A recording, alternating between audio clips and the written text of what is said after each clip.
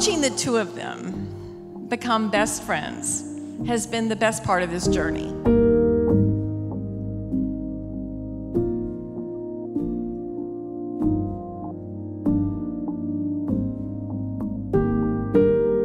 I met Lily on Stephen's 23rd birthday. She came to Stephen's party in the company of our old friend Abby Muir.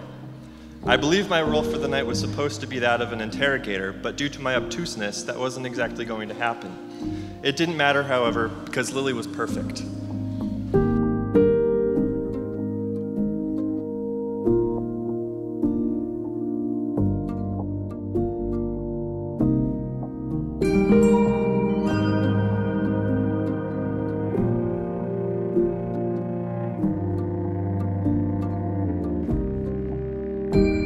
All of you, every single one of you, is one of two things.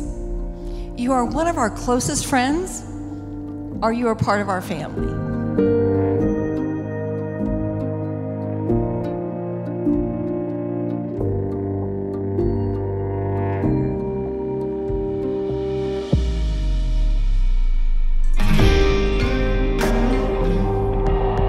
Stephen and Lily, are you prepared to enter marriage freely and wholeheartedly? I am. I am.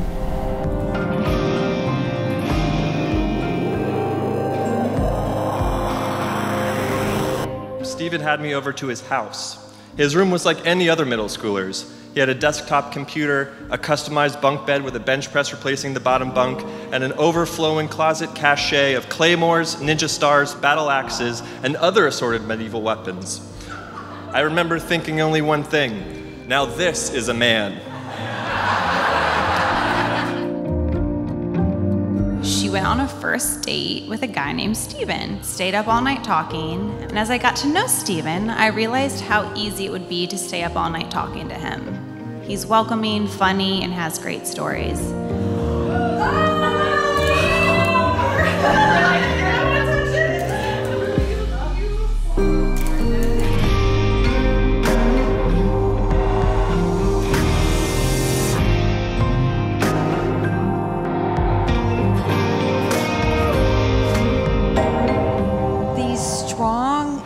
Determined and opinionated people realized that the way to be best friends is to challenge each other and be exciting, to be two unique individuals that complemented one another.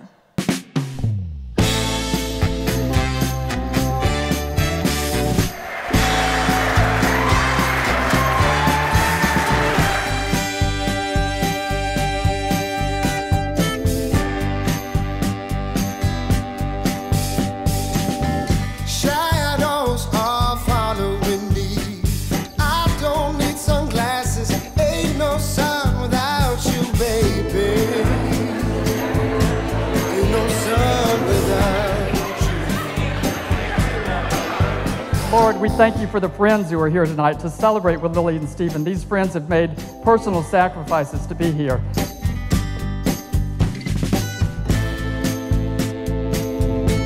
I can't hide the rest you. Won't you just be my ray of sunshine? Lily, take this ring as a sign of my love and fidelity. Stephen, take this ring as a sign of my love and fidelity, In the name of the Father, and Son, and the Holy Spirit. and of the Holy Spirit.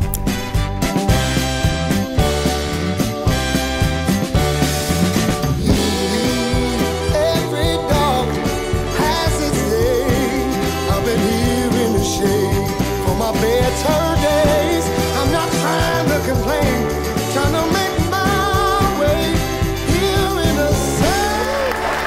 Kiss the.